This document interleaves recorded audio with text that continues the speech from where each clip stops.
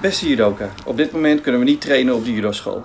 Vandaar dat we dit leuke filmpje voor jullie hebben gemaakt, zodat je thuis kan oefenen en er weer klaar voor bent op het moment dat we wel de mat weer op kunnen. De eerste oefening is 5 keer opdrukken, 5 keer buikspieren en 5 keer streksprongen vanuit hurkzit. En dat 5 keer, dus 5 keer 5. Tweede oefening is planken. Je steunt op je onderarmen en op je tenen en je houdt jezelf zo stijf mogelijk.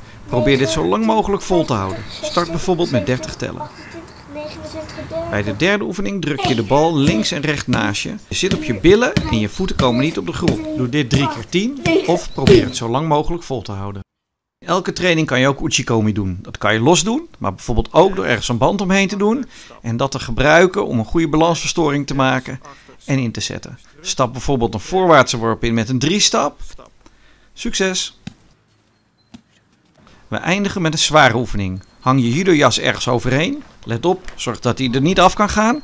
En probeer maar zo lang mogelijk aan je judojas te hangen. Dat is erg goed voor je grip om het lang vol te houden als je iemand wil vasthouden. En je wordt er sterk van. Probeer uiteraard zo lang mogelijk te blijven hangen.